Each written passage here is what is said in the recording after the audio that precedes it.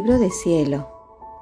La llamada a las criaturas al orden, a su puesto y a la finalidad para la que fueron creadas por Dios. Sierva de Dios Luisa Picarreta.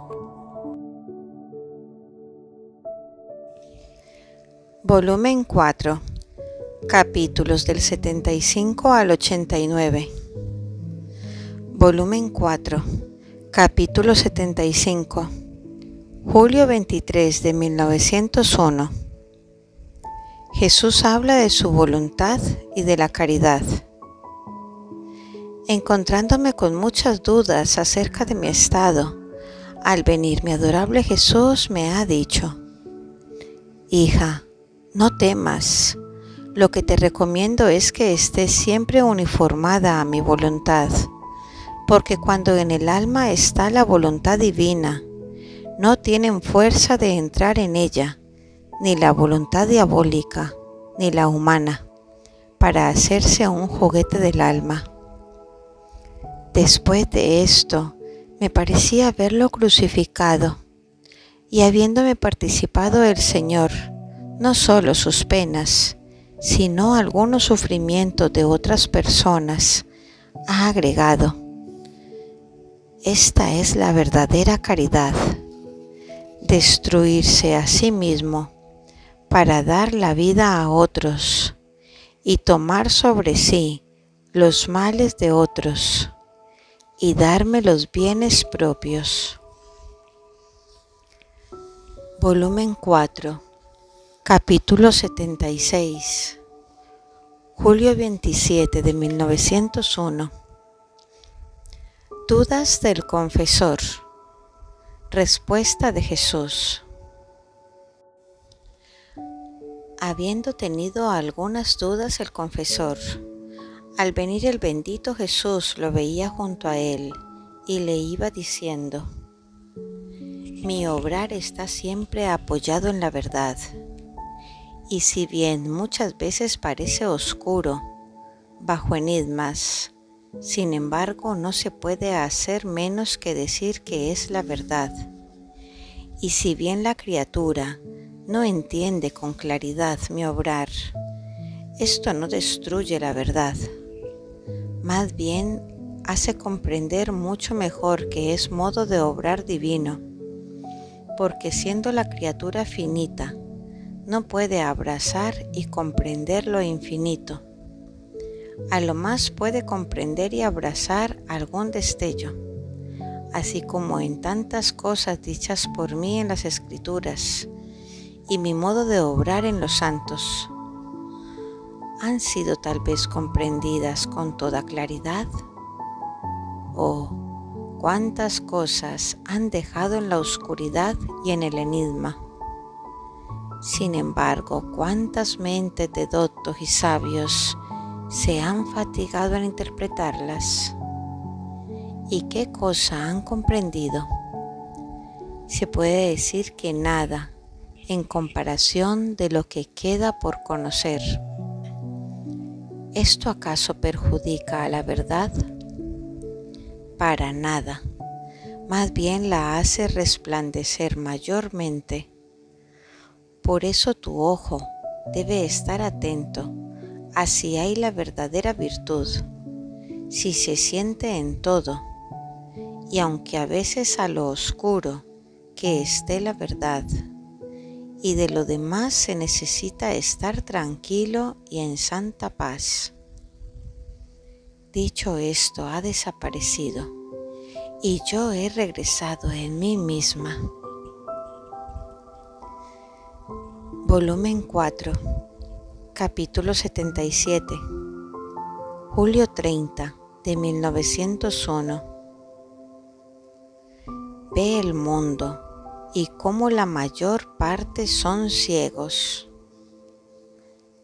Encontrándome en mi habitual estado, el bendito Jesús me ha transportado fuera de mí misma en medio de mucha gente. ¡Qué ceguera! Casi todos eran ciegos unos pocos de corta vista. Apenas uno que otro se notaba como sol en medio de las estrellas, de vista agudísima, todo concentrado en el sol divino. Y esta vista le era concedida porque la tenía fija en la luz del Verbo humanado. Jesús compadeciéndose todo me ha dicho, Hija mía, cómo ha arruinado al mundo la soberbia, ha llegado a destruir esa pequeña lucecita de razón que todos llevan consigo desde que nacen. Pero debes saber que la virtud que más exalta a Dios es la humildad. Y la virtud que más exalta a la criatura ante Dios y ante los hombres es la humildad. Dicho esto, ha desaparecido. Más tarde ha regresado todo angustiado y afligido y ha agregado, Hija mía, están por suceder tres terribles castigos y como relámpago ha desaparecido sin darme tiempo de decirle ni una palabra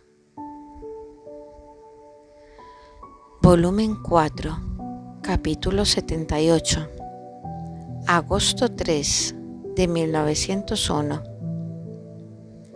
El alma que posee la gracia tiene potestad sobre el infierno, sobre los hombres y sobre Dios. Esta mañana mi adorable Jesús no venía y después de mucho esperar, ha venido la Virgen Mamá conduciéndolo casi por la fuerza. Pero Jesús huía. Entonces la Virgen Santísima me ha dicho, Hija mía, no te canses en pedirle, más bien sé inoportuna, porque este huir que hace es señal de que quiere enviar algún castigo. Por eso huye de la vista de las personas amadas pero tú no te detengas, porque el alma que posee la gracia tiene potestad sobre el infierno, sobre los hombres y sobre Dios mismo. Porque siendo la gracia parte de Dios mismo, poseyéndola el alma, no tiene tal vez el poder sobre lo que ella misma posee. Entonces después de mucho esperar, obligado por la mamá reina e importunado por mí, ha venido, pero con un aspecto imponente y serio, de modo que no me atrevía a hablar. No sabía cómo hacer para quitarle aquel aspecto tan imponente. Pensé comenzar a hablar con disparates diciéndole, mi dulce bien, amémonos. Si no nos amamos nosotros, ¿quién nos debe amar?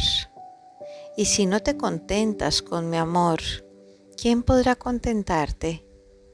Ay, dame una señal cierta de que estás contento con mi amor. De otra manera yo desfallezco, yo muero. Pero ¿quién puede decir todos los disparates que he dicho? creo que es mejor pasarlos por alto. Pero con esto parece que he tenido éxito en quitarle a aquel aire imponente que tenía y me ha dicho, solo estaré contento de tu amor cuando éste sobrepase el río de la iniquidad de los hombres. Por eso piensa en acrecentar tu amor porque así más estaré contigo. Dicho esto, ha desaparecido. Volumen 4, capítulo 79, agosto 5 de 1901. Cómo las mortificaciones son los ojos del alma. Encontrándome en mi habitual estado, mi bendito Jesús tardaba en venir y yo me sentía morir por la pena de su privación, cuando de improviso ha venido y me ha dicho, Hija mía, Así como los ojos son la vista del cuerpo, así la mortificación es la vista del alma. Así que la mortificación se puede decir ojos del alma y ha desaparecido.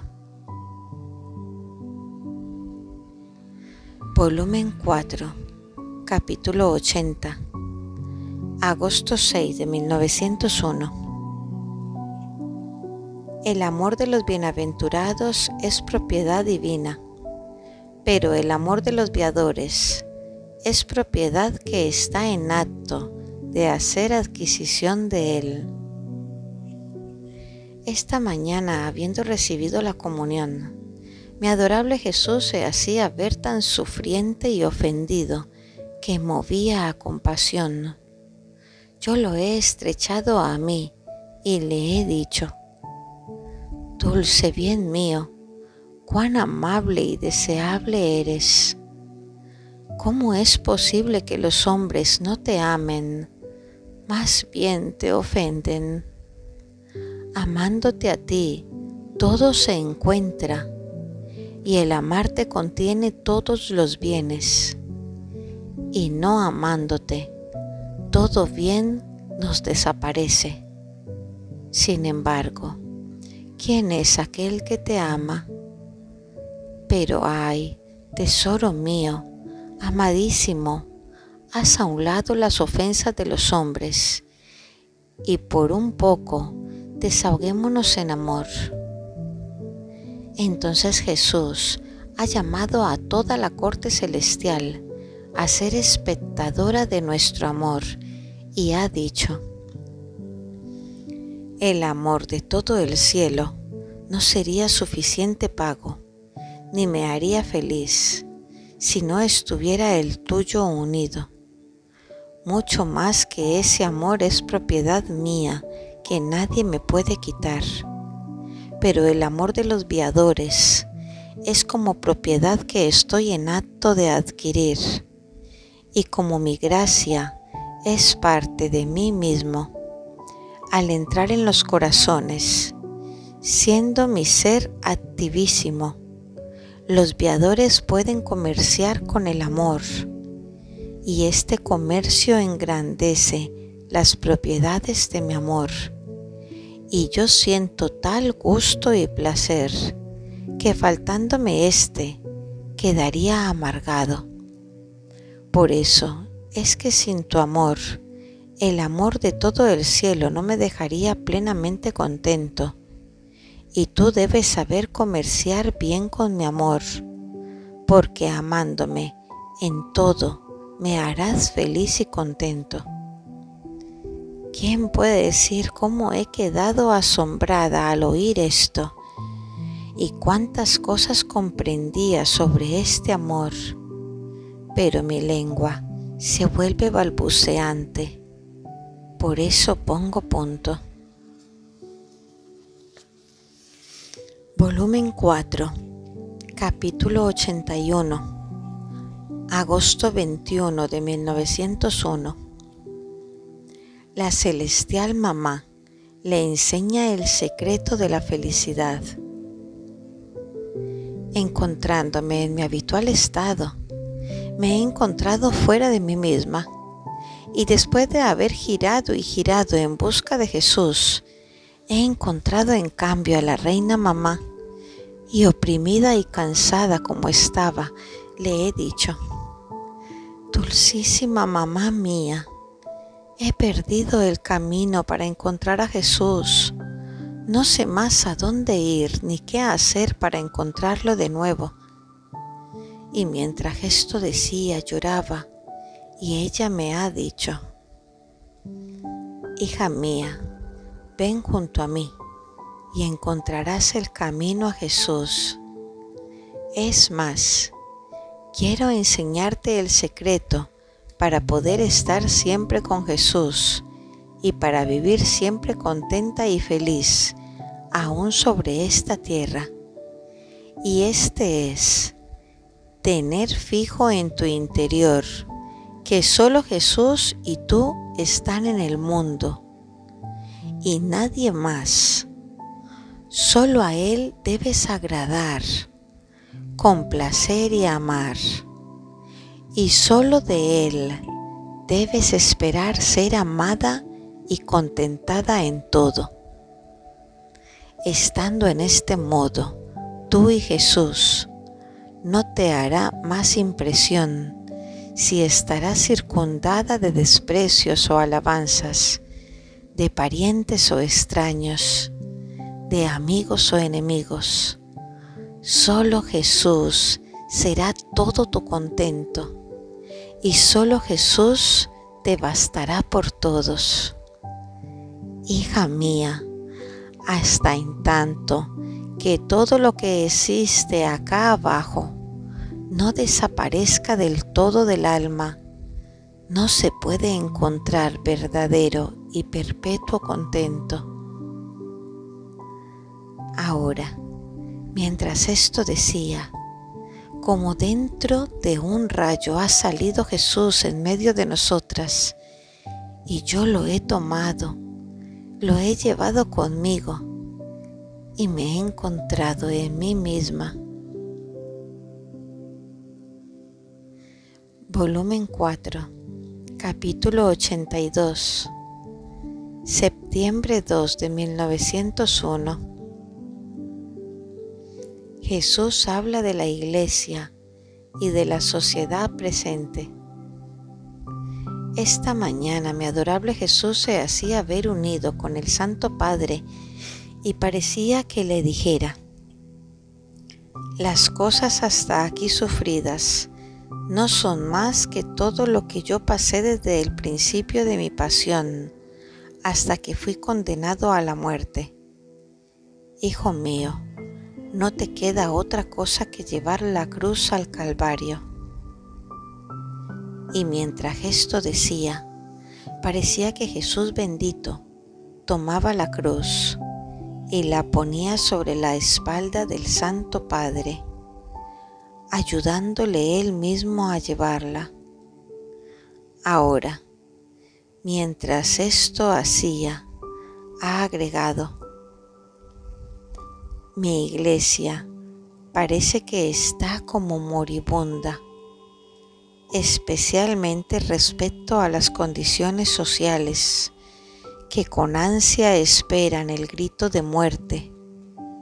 Pero ánimo, hijo mío, después de que hayas llegado al monte, cuando levantes la cruz, todos se sacudirán y la iglesia dejará el, aspecto de moribunda y recobrará su pleno vigor. Solo la cruz será el medio para esto, como solo la cruz fue el único medio para llenar el vacío que el pecado había hecho y para unir el abismo de distancia infinita que había entre Dios y el hombre.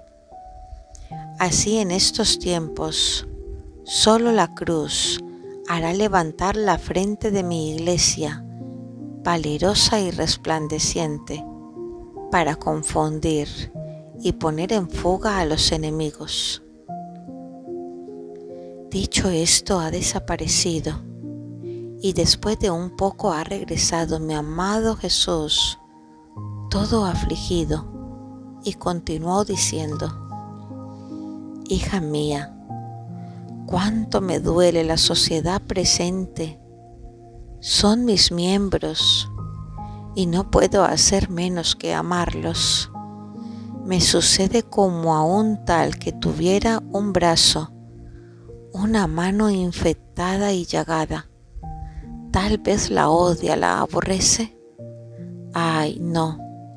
Más bien le procura todos los cuidados. Quién sabe cuánto gaste para verse curado. Y mientras no llega a obtener la curación, es causa de hacerle sufrir todo el cuerpo, de tenerlo oprimido, afligido. Así es mi condición. Veo mis miembros infectados, llagados, y por ello siento dolor y pena, y por esto me siento más atraído a amarlos. Oh, cómo es diferente mi amor al de las criaturas. Yo estoy obligado a amarlas porque son cosa mía, pero ellas no me aman como cosa de ellas. Y si me aman, me aman por su propio bien. Después de esto ha desaparecido y yo me he encontrado en mí misma. Volumen 4, capítulo 83, septiembre 4 de 1901. Ardores del corazón de Jesús por la gloria de la majestad divina y por el bien de las almas. Mi adorable Jesús continúa viniendo y esta mañana apenas lo he visto, sentía un ansia de preguntarle si me había perdonado mis pecados. Por eso le he dicho, Dulce amor mío, cuánto anhelo oír de tu boca si me has perdonado mis tantos pecados. Y Jesús se ha acercado a mi oído y con su mirada parecía que escrutase todo mi interior y me ha dicho, todo está perdonado y te lo perdono. No te queda otra cosa que algunos defectos cometidos por ti inadvertidamente y también te los perdono. Después de esto parecía que Jesús se ponía a mis espaldas y tocándome los riñones con su mano, me los fortificaba. ¿Quién puede decir lo que sentía con aquel toque? Solamente sé decir que sentía un fuego refrigerante, una pureza unida a la fuerza. Después que me tocó los riñones, le he pedido que hiciera lo mismo al corazón. Y Jesús para complacerme ha condescendido. Y después me parecía como si Jesús bendito estuviera cansado por causa mía y le he dicho, Dulce vida mía, ¿estás cansado por causa mía?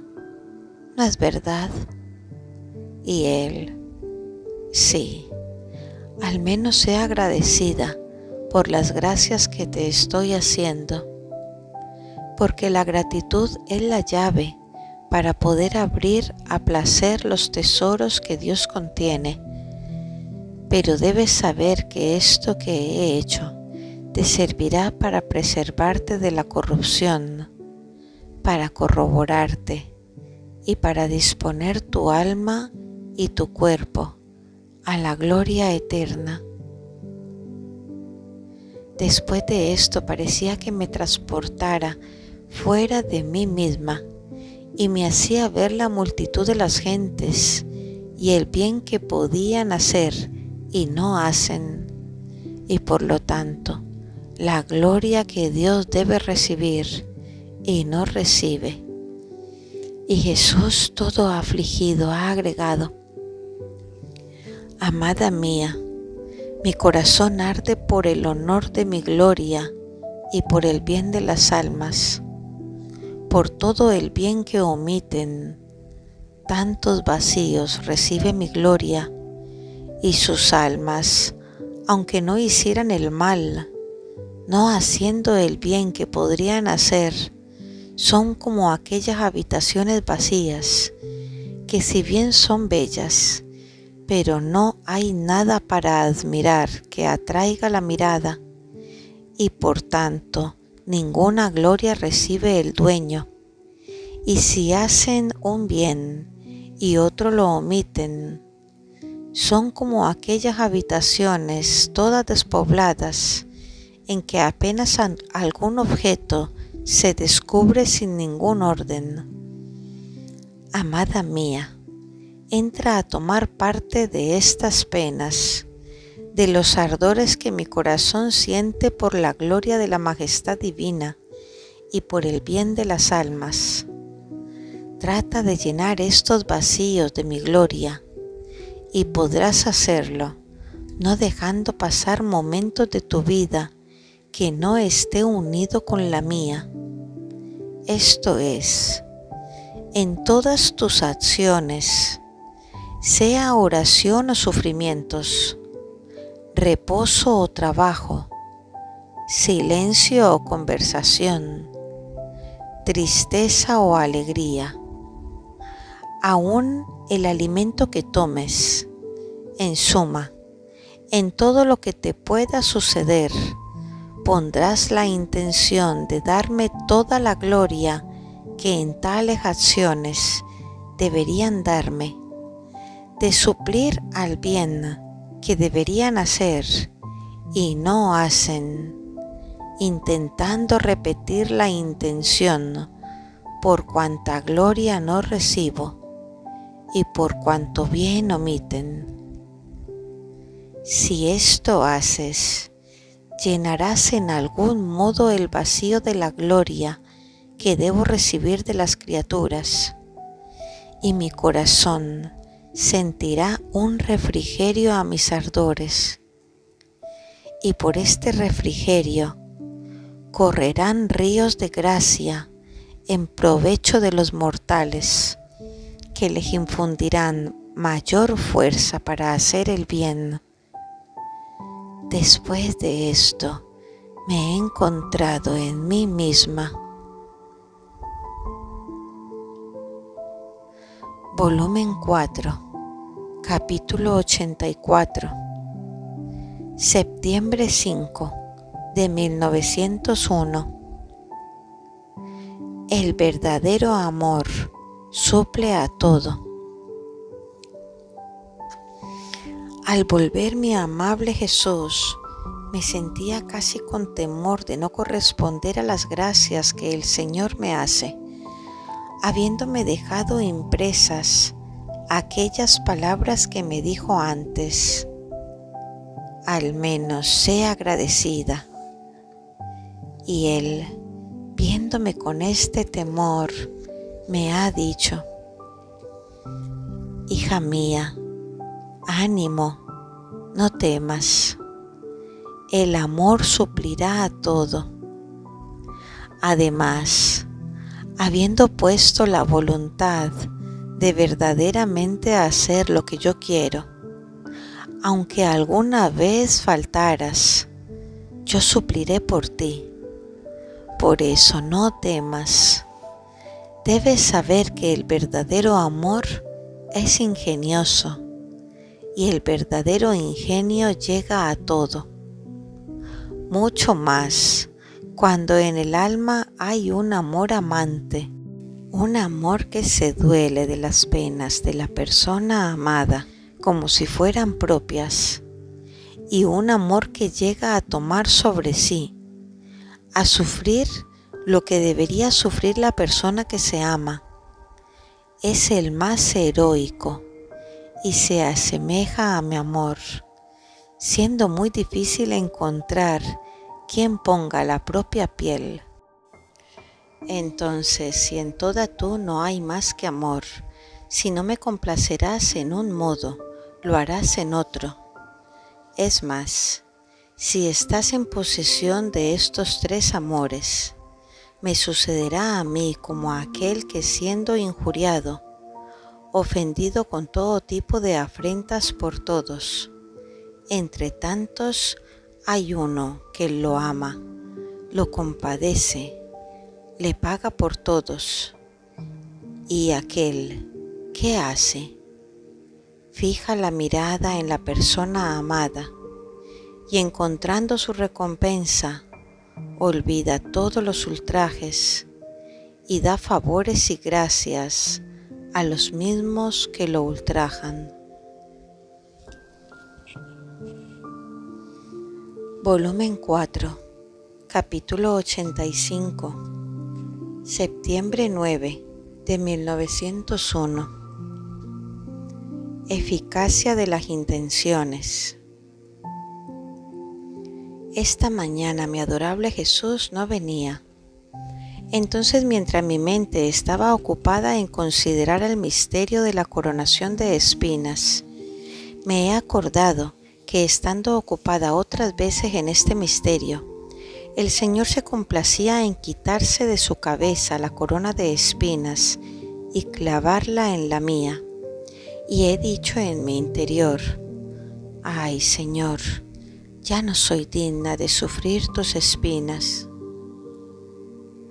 Y Él ha venido de improviso y me ha dicho, Hija mía, cuando tú sufres mis mismas espinas, tú me consuelas, y sufriéndolas tú, yo me siento completamente libre de esas penas.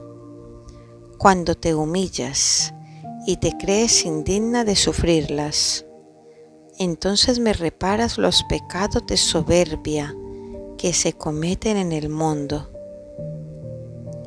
Yo he agregado, Ay Señor, por cuantas gotas derramaste, por cuantas espinas sufriste, por cuantas heridas, tanta gloria intento darte, por cuanta gloria deberían darte todas las criaturas, si no existiera el pecado de soberbia, y tantas gracias intento pedirte para todas las criaturas, para hacer que este pecado se destruya.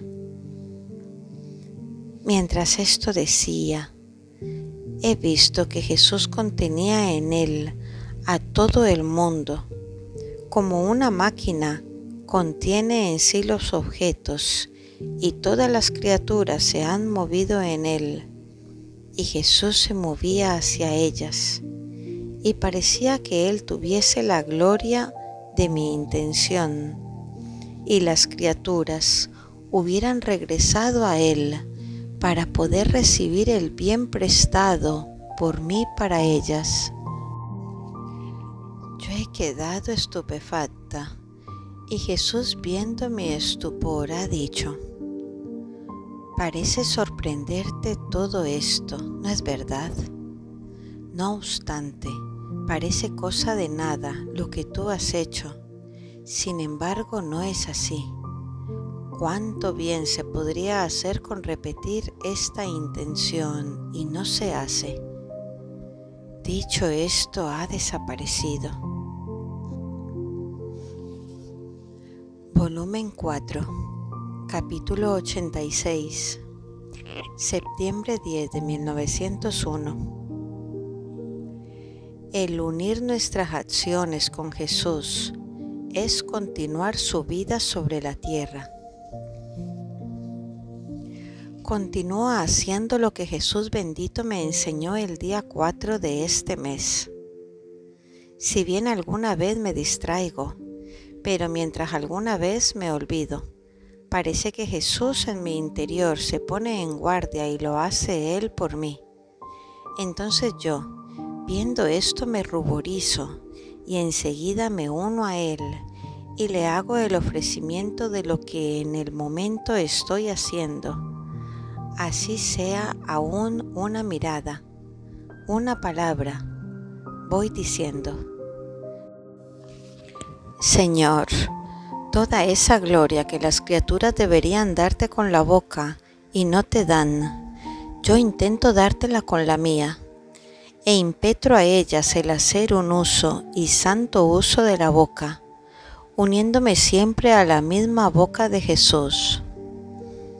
Entonces mientras en todas mis cosas esto hacía, vino y me ha dicho, He aquí la continuación de mi vida, que era la gloria del Padre y el bien de las almas. Si en esto perseveras, tú formarás mi vida y yo la tuya. Tú serás mi respiro y yo el tuyo. Después de esto Jesús se ponía a reposar sobre mi corazón y yo sobre el corazón de él. Y parecía que Jesús tomaba el respiro de mí y yo lo tomaba por medio de Jesús. ¡Qué felicidad! ¡Qué gozo! Qué vida celestial experimentaba en esa posición Sea siempre agradecido y bendecido el Señor, que tanta misericordia usa con esta pecadora. Volumen 4, capítulo 87, septiembre 14 de 1901. El principio y el fin de nuestras acciones debe ser el amor de Dios. Después de haber pasado varios días de privación, hoy, mientras me disponía a hacer la meditación, mi mente se distrajo en otra cosa y por medio de una luz comprendía que el alma al salir del cuerpo entra en Dios y como Dios es purísimo amor, el alma entra en Dios solo cuando es un complejo de amor porque Dios a ninguno recibe en sí, sino es en todo semejante a Él. Y encontrándola complejo de amor la recibe y le participa todas sus dotes. Así que estaremos en Dios más allá del cielo, como aquí estamos en nuestra propia habitación. Ahora, esto me parecía que se podría hacer también en el curso de nuestra vida para ahorrar trabajo al fuego del purgatorio y a nosotros la pena, y así ser introducidos inmediatamente, sin ninguna dificultad, en nuestro sumo bien Dios. Entonces me parecía que el alimento del fuego es la leña, y para estar seguro que la leña se ha convertido en fuego es cuando se advierte que ya no produce humo. Ahora, principio y fin de todas nuestras acciones deben ser el fuego del amor de Dios. La leña que debe alimentar este fuego son las cruces, las mortificaciones, el humo que se eleva entre la leña y el fuego son las pasiones, las inclinaciones, que muy frecuentemente asoman la cabeza. Entonces la señal de que todo en nosotros se ha consumido en fuego es si nuestras pasiones están en su lugar y no sentimos más inclinaciones a todo lo que no se refiere a Dios. Parece que con esto pasaremos libremente, sin ningún obstáculo a habitar en nuestro Dios, y llegaremos aún desde acá a gozar el paraíso anticipado. Volumen 4, capítulo 88 Huyendo de la cruz se permanece en lo oscuro. Esta mañana mi adorable Jesús ha venido glorioso, con las llagas resplandecientes más que el sol, y con una cruz en la mano. Mientras estaba en esto, veía también una rueda en la que salían cuatro ángulos. Parecía que en un ángulo escapaba la luz y quedaba a oscuras. En esta oscuridad quedaba la gente como abandonada por Dios y sucedían guerras sangrientas contra la iglesia y contra la gente misma. Ay, parecía que las cosas dichas antes por Jesús bendito se van acercando a pasos veloces.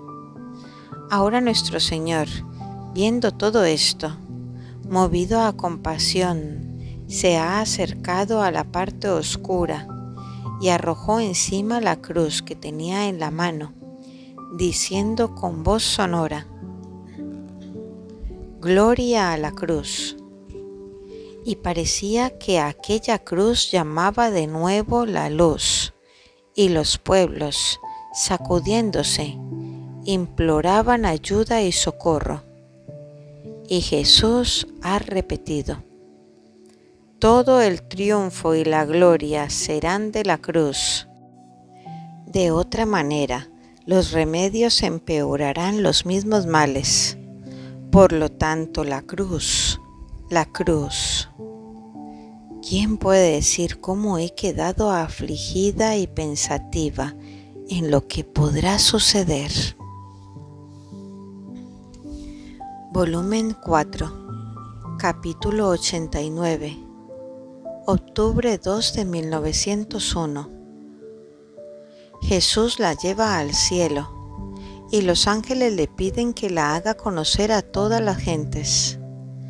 Ella nada en Dios y trata de comprender el interior divino. Esta mañana mi adorable Jesús ha venido y me ha transportado fuera de mí misma, en medio de las gentes. ¿Quién puede decir los males, los horrores que se veían? Entonces todo afligido me ha dicho, Hija mía, qué peste exhala la tierra, mientras que debería ser una con el cielo, y como en el cielo no se hace otra cosa que amarme, alabarme, agradecerme, el eco del cielo debería absorber la tierra y formar uno solo pero la tierra se ha vuelto insoportable.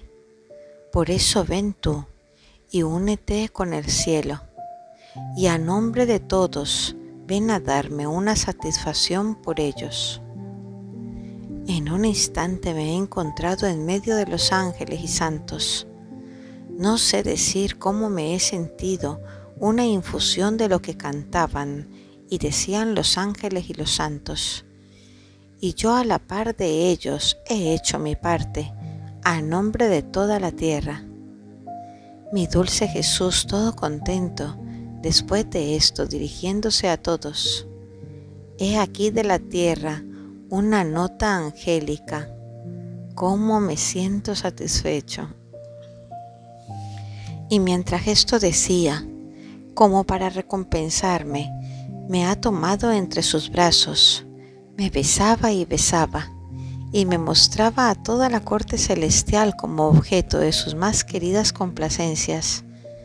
Al ver esto, los ángeles han dicho, Señor, te pedimos que muestres lo que has sobrado en esta alma a las gentes con una señal prodigiosa de vuestra omnipotencia, para gloria vuestra y para el bien de las almas no tengas más escondidos los tesoros derramados en ella, y así viendo y tocando ellos mismos vuestra omnipotencia en otra criatura, pueda servir de arrepentimiento a los malos y de mayor estímulo a quien quiera ser bueno. Yo al oír esto me sentí sorprender por un temor y toda anulándome tanto que me veía como un pequeño pececillo, me he arrojado en el corazón de Jesús diciendo, Señor, no quiero otra cosa que a ti y estar escondida en ti. Y esto te he pedido siempre, y esto te pido que me confirmes. Y dicho esto, me he encerrado en el interior de Jesús, como nadando en los vastísimos mares del interior de Dios. Y Jesús ha dicho a todos, ¿no la habéis escuchado? No quiere otra cosa que a mí y estar escondida en mí. Este es su más grande contento. Y yo al ver una intención tan pura, me siento más atraído hacia ella y viendo su disgusto, si mostrase a las gentes con una señal prodigiosa mi obra, para no entristecerla, no os concedo lo que me habéis pedido. Los ángeles parecían que insistían, pero yo no he prestado atención a ninguno. No hacía otra cosa que nadar en Dios para comprender el interior divino. Pero qué, me parecía ser como un niñito que quiere tomar en su pequeña manita un objeto de desmesurada grandeza, que mientras lo toma se le escapa, y apenas logra tocarlo, así que no puede decir ni cuánto pesa, ni qué amplitud tenía aquel objeto, o bien, como otro niño, que no conociendo toda la profundidad de los estudios, dice con ansias que quiere aprender todo en breve tiempo y apenas logra aprender las, las primeras letras del alfabeto. Así la criatura no puede decir otra cosa que lo he tocado, es bello, es grande, no hay bien que no posea. Pero qué tan bello es, cuánta grandeza contiene, cuántos bienes posee, no sé decirlo, o sea, puede decir de Dios las primeras letras del alfabeto, dejando atrás toda la profundidad de los estudios. Así que, mis amadísimos hermanos, ángeles y santos, aún estando en el cielo como criaturas, no tienen la capacidad de comprender en todo a su Creador. Son como tantos recipientes llenos de Dios que queriéndolo llenar de más, se derraman fuera. Creo que estoy diciendo muchos desatinos, por eso pongo punto. Volumen 4, capítulo 90, octubre 3 de 1901. Luisa se ofrece en modo especial. No hay obstáculo mayor para la unión con Dios que la voluntad humana. Habiendo recibido la comunión, estaba pensando cómo ofrecer una cosa más especial a Jesús, cómo atestiguarle mi amor y darle un mayor gusto. Entonces le he dicho, Amadísimo Jesús mío, te ofrezco mi corazón para tu satisfacción y como eterna alabanza y te ofrezco a toda mí misma, aun las mínimas partículas de mi cuerpo, como tantos muros para ponerlos ante ti para impedir cualquier ofensa que te sea hecha, aceptándolas todas sobre mí si fuese posible, y a tu placer, hasta el día del juicio, y porque quiero que mi ofrecimiento sea completo, y te satisfaga por todos.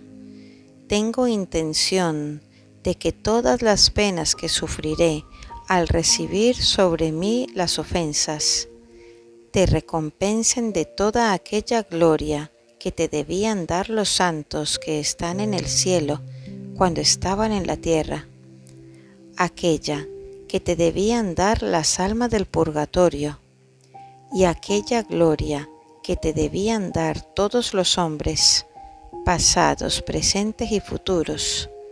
Te la ofrezco por todos en general y por cada uno en particular. En cuanto he terminado de decir esto, el bendito Jesús, todo conmovido por tal ofrecimiento, me ha dicho, Amada mía, Tú misma no puedes entender el gran contento que me has dado con el ofrecimiento de este modo. Me has curado todas mis heridas y me has dado una satisfacción por todas las ofensas pasadas, presentes y futuras, y yo las tendré en cuenta por toda la eternidad, como una gema preciosa que me glorificará eternamente y cada vez que la vea, te daré nueva y mayor gloria eterna. Hija mía, no puede haber obstáculo mayor que impida la unión entre yo y las criaturas y que se oponga a mi gracia que la propia voluntad. Tú con ofrecerme tu corazón para mi satisfacción, te has vaciado de ti misma y vaciándote de ti, yo me verteré todo en ti, y de tu corazón me vendrá una alabanza que me traerá las mismas notas de las alabanzas de mi corazón, que continuamente da a mi Padre para satisfacer a la gloria que no le dan los hombres.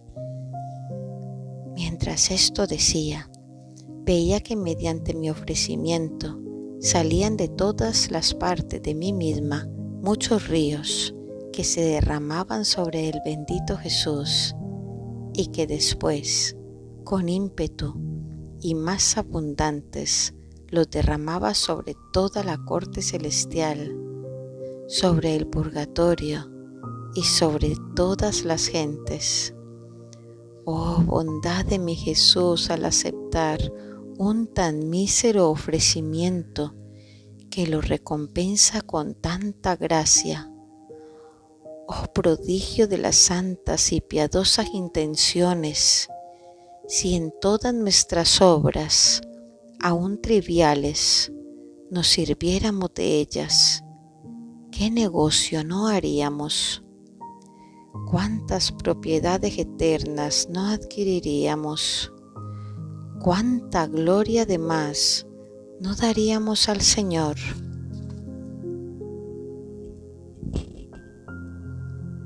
Volumen 4, capítulo 91, octubre 8 de 1901. Cuando el alma obra unida con Jesús, sus actos tienen los mismos efectos del obrar de Él. Valor de la intención.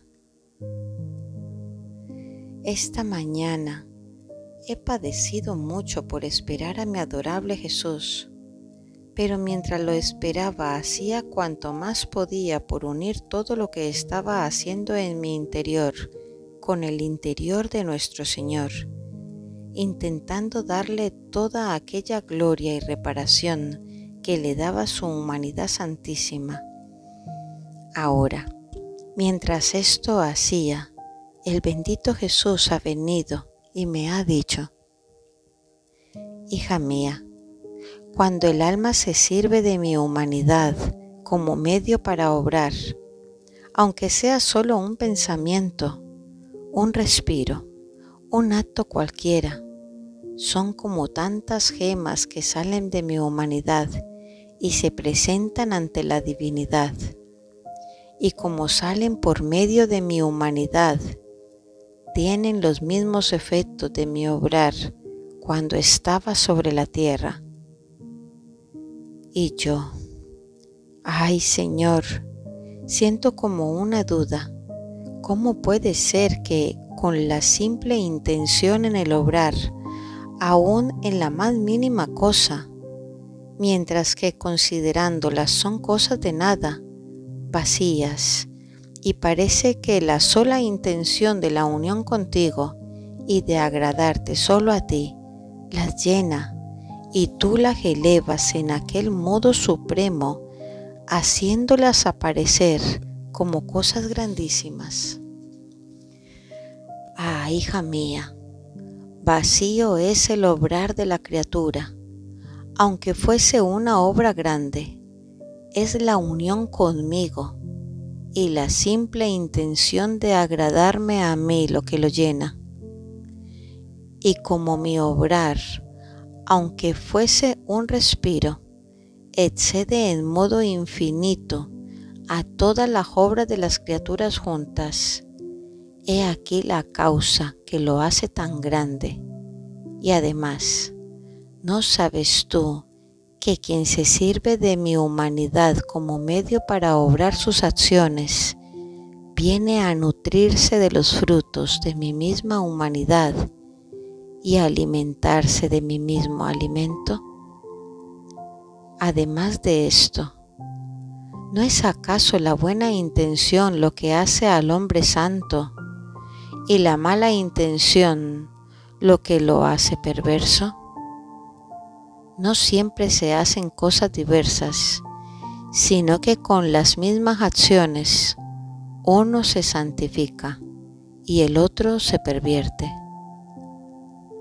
Mientras decía esto, veía dentro de nuestro Señor un árbol verde, lleno de bellos frutos, y a aquellas almas que obraban para agradar solo a Dios y por medio de su humanidad las veía dentro de él, sobre este árbol, y su humanidad servía de habitación a estas almas. Pero qué escasísimo era su número. Volumen 4, capítulo 92, octubre 11 de 1901. Silencio de Jesús. El alimento más necesario es la paz. Habiendo pasado varios días de privación y de silencio, esta mañana al venir continuaba su silencio, y si bien lo he tenido casi siempre conmigo, por cuanto ha hecho, no he logrado hacerlo decir una sola palabra. Parecía que tenía una cosa en su interior que lo amargaba, tanto que lo dejaba taciturno, y no quería que yo lo supiera. Ahora, Mientras Jesús estaba conmigo, me pareció ver a la reina mamá y al ver a Jesús conmigo me ha dicho, ¿tú lo tienes? Menos mal que está contigo, porque si debe desahogar su justo furor, estando contigo lo detienes.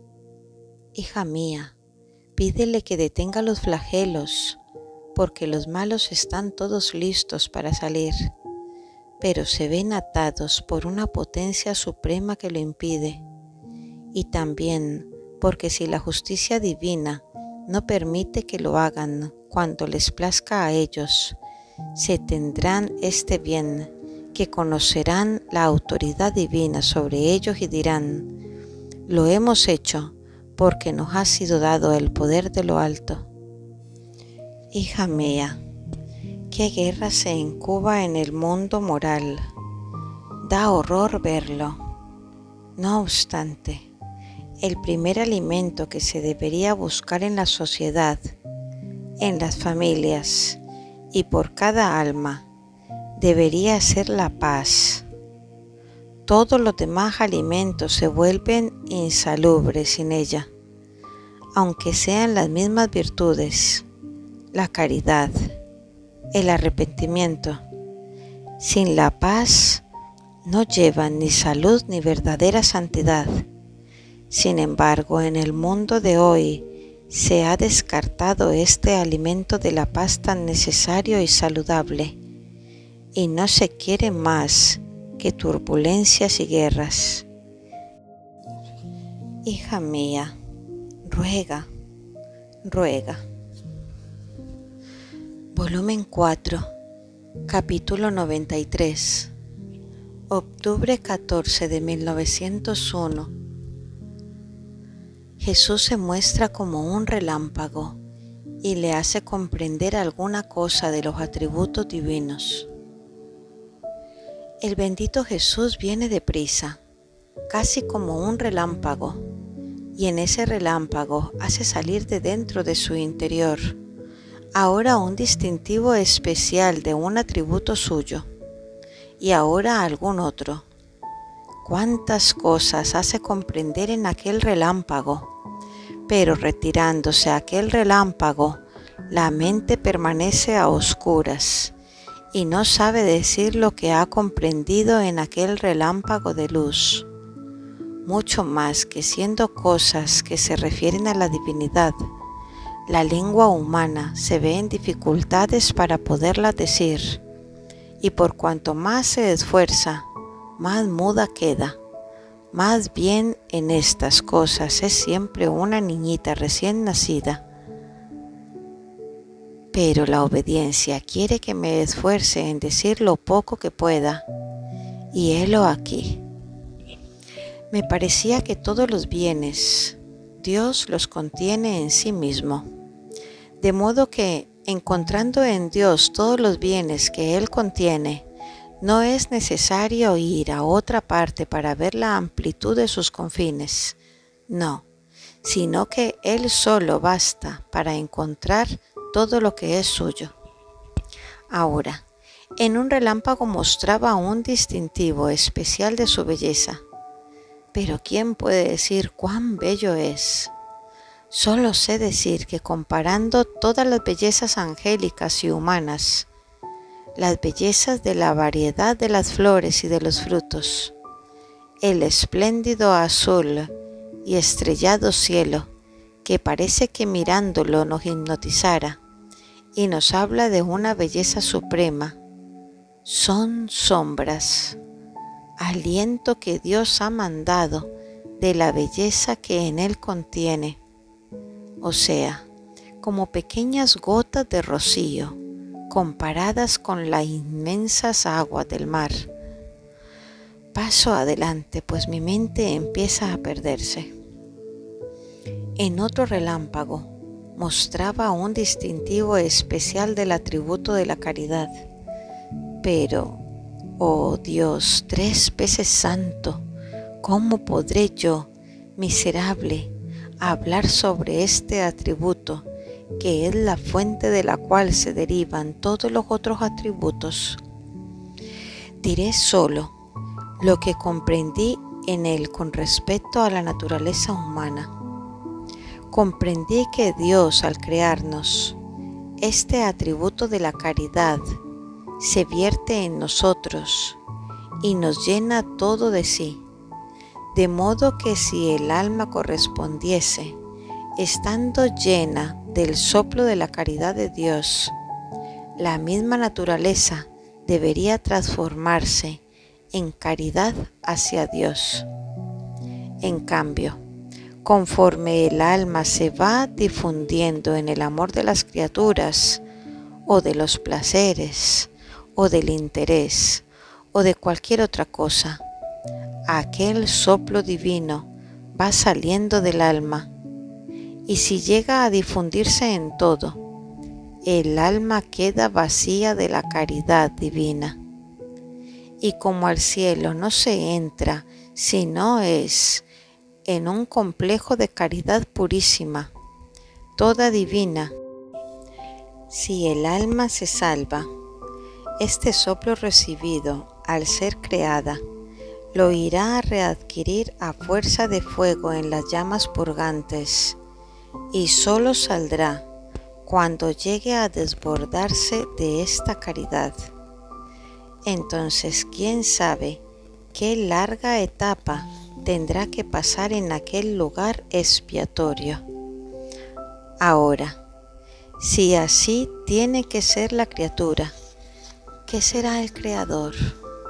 Creo que estoy diciendo muchos disparates, pero no me maravillo porque no soy para nada ninguna docta, soy siempre una ignorante, y si hay alguna cosa de verdad en estos escritos no es mía, sino de Dios, y yo quedo siempre la ignorante que soy.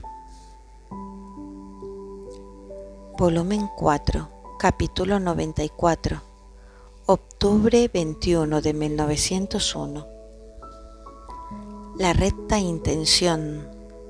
Todo lo que no se hace por Dios queda perdido como polvo ante un viento impetuoso. Esta mañana el bendito Jesús al venir parecía que hacía un cerco con sus brazos como para encerrarme dentro, y mientras me estrechaba me ha dicho, Hija mía, cuando el alma hace todo por mí, todo queda encerrado dentro de este cerco, nada queda fuera. Así fuera un suspiro, un latido, un movimiento cualquiera, todo entra en mí, y en mí todo queda numerado, y yo en recompensa lo derramo en el alma, pero duplicados de gracia, de modo que el alma derramándolos nuevamente en mí y yo en ella, llega a adquirir un capital sorprendente de gracia, y todo esto es mi deleite. Esto es, dar a la criatura lo que me ha dado como si fuese cosa suya, agregando siempre de lo mío. Y quien con su ingratitud impide que le dé lo que quiero impide mis inocencias delicias.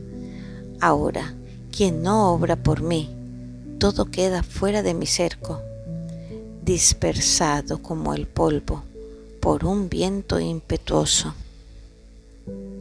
Fiat.